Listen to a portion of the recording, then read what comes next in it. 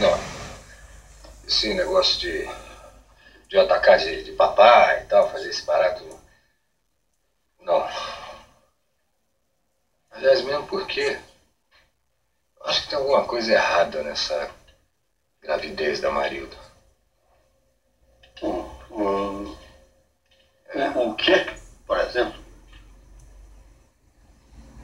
Eu acho que ela mentiu sobre o pai da criança.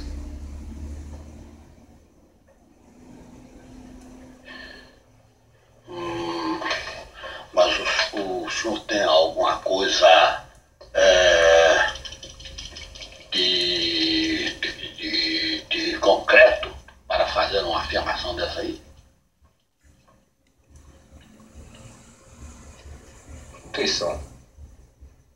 Seu Roberto Matias, intuição é coisa de mulher, não sabe? Intuição e gravidez também é coisa de mulher. Aqui são duas coisas de mulher. Agora, quando é assim, gravidez, a mulher não pode fazer sozinha, sabe? Ela precisa de um parceirinho para fazer a criancinha, não é? Que geralmente é um safado de um sem vergonha que, que quer. Depois tá querendo tirar o corpo fora. Olha aqui, ô, ô, ô, senhor Matias, eu não estou aqui falando em meu nome. Eu estou aqui falando em nome família Azabranquense. Enquanto o senhor estiver aqui, nessa cidade, o senhor tem que se comportar segundo os nossos padrões de moral, de decência e de comportamento.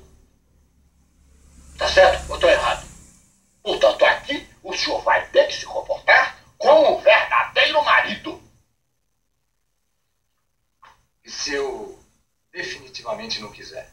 O senhor definitivamente, vai ter que sair daqui. Agora, de que jeito e em que estado o senhor vai sair daqui, isso é que eu não posso te garantir. Como é que é? O senhor vai ou não vai assumir a dona Maria da Matias?